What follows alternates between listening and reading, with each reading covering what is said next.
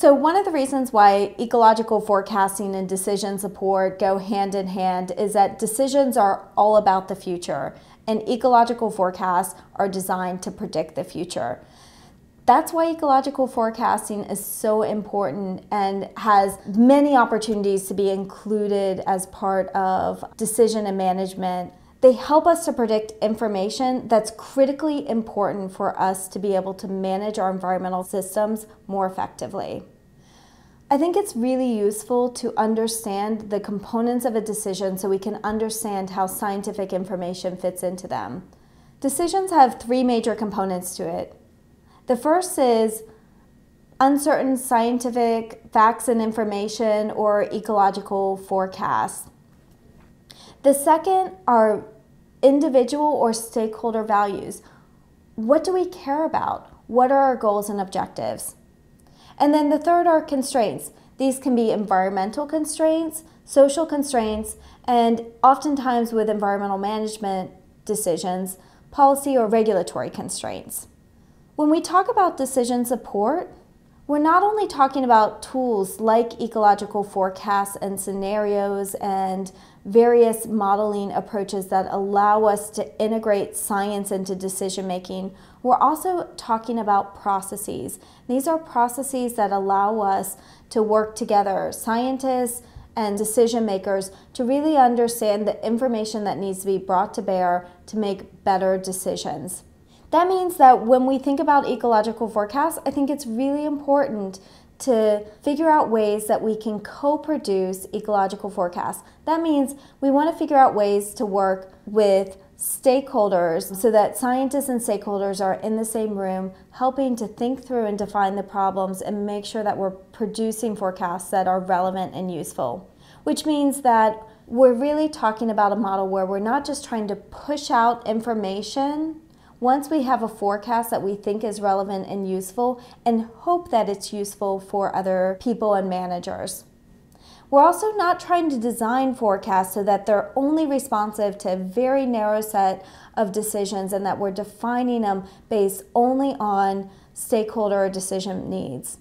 Ideally, what we're doing is we're pushing the frontiers and developing forecasts that might be useful for a range of different decisions and applications.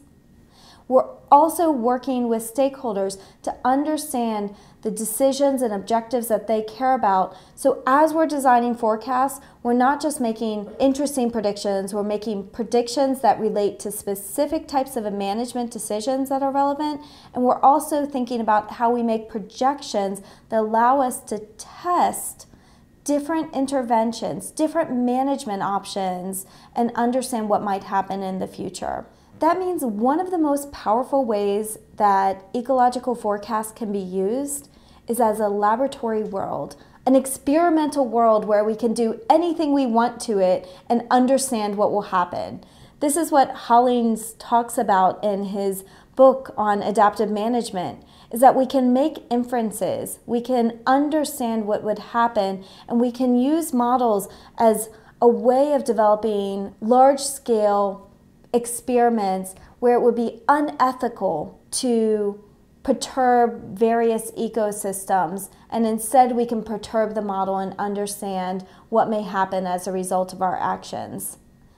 So we've talked up to this point about some of the components and opportunities for ecological forecasts, but I think it's also useful to understand how we break down and think about making really complex, hard decisions like environmental management decisions. And so one of the acronyms that might be useful to remember is PROACT. What this stands for is problem, objective, alternatives, consequences, and trade-offs. If you're using Mike Dietze's ecological forecasting book, you'll see this in the decision support chapter. In that chapter, he has a conceptual model that breaks down the PROACT steps. One of the things that he highlights is that in addition to alternatives, we're oftentimes thinking about scenarios so that we can understand what might happen in the future so we can constrain the boundary conditions that we need for our models so that we can perturb them based off of the same boundary conditions.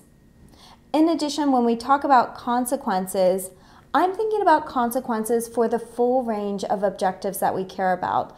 However, in ecological forecasting, oftentimes the ecological forecaster is most interested in what consequences we can forecast that relate most specifically to those particular models or ecological systems that they care about. One of the things that's important to know about the PROACT approach is that it's not a linear process. Ideally, this employs adaptive management. So even though you may see conceptual models that really lay it out as problem, objective, alternatives, consequences, and trade offs, if you're doing this approach, you would ideally be thinking about adaptive monitoring, improving your forecast iteratively over time, and how you use that information to feed in to understand whether or not the management actions you took are actually working. And if they're not, what actions you might want to take and how you might be able to use the models to help you assess different approaches. So let's break down each of the PROACT steps. A lot of this is described in much more detail in a book called Structured Decision Making by Robin Gregory. And for those that are interested in taking a deep dive into how a decision analyst thinks about constructing decision models that use ecological forecasts, I recommend you look at that reference to really understand the various components and how you can improve your ecological forecast for those decision models.